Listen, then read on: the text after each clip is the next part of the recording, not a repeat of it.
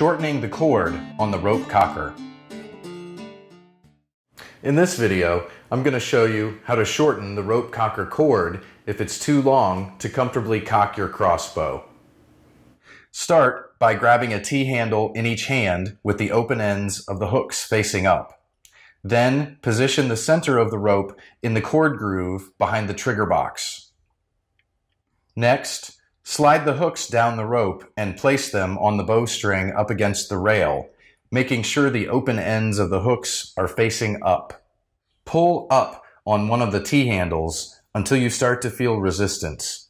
Now, determine the amount of excess rope there is between the T-handle and the hook on that side.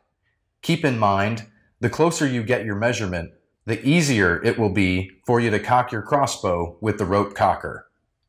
Remove the rope cocker from the crossbow. Push the rope partway through one of the handles.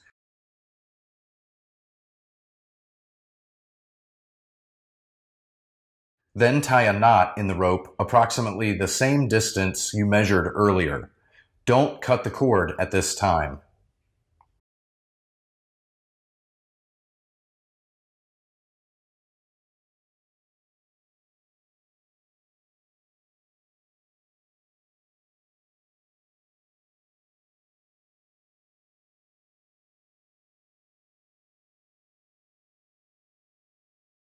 Reposition the rope and hooks on the crossbow, then make additional adjustments if necessary.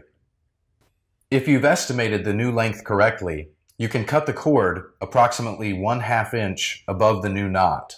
Or, if you think you might use the rope cocker on another crossbow, you don't need to cut the rope. If you do cut the rope, we recommend burning the cut edge with a lighter to keep the rope from fraying.